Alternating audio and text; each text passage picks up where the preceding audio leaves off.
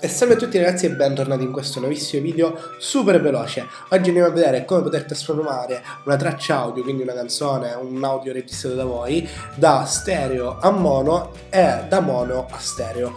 Um, Utilizzeremo un programma gratuito um, disponibile sia per Mac che per Windows. In questo caso sono su Mac ma non cambia niente per quanto riguarda il procedimento Che è appunto Audacity Studio il link per scaricarlo sarà nella descrizione del video.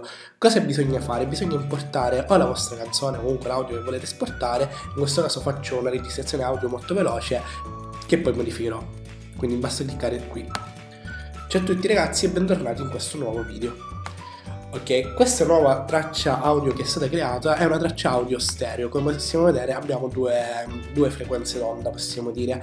Per trasformarla in mono basta selezionarla tutta, in questo modo, col, col puntatore, andare su tracce e cliccare da, da traccia stereo a mono e vedremo che appunto si, mh, sarà unificata e si verrà a creare un'unica traccia mono. Per adesso riportarla a stereo, comunque se noi abbiamo una traccia mono e vogliamo portarla a stereo, cosa bisogna fare? Bisogna selezionarla tutta, andare su modifica, duplica e a questo punto cliccare su una delle due eh, tracce, qui in questa freccetta, e cliccare eh, su uh, crea traccia stereo e vedremo che la traccia si sarà unificata e sarà diventata appunto una traccia stereo.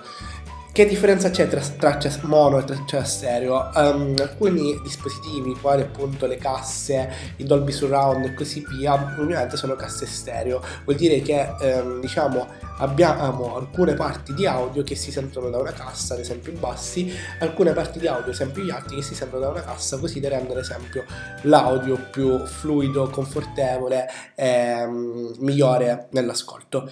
Però può succedere che in alcuni casi abbiamo bisogno di, una, eh, di un audio mono. Quindi ragazzi il mio video è finito qui, se, eh, se avete video da richiedere, tutorial da richiedere fatelo nei commenti, il mio video è finito qui, ciao a tutti e alla prossima.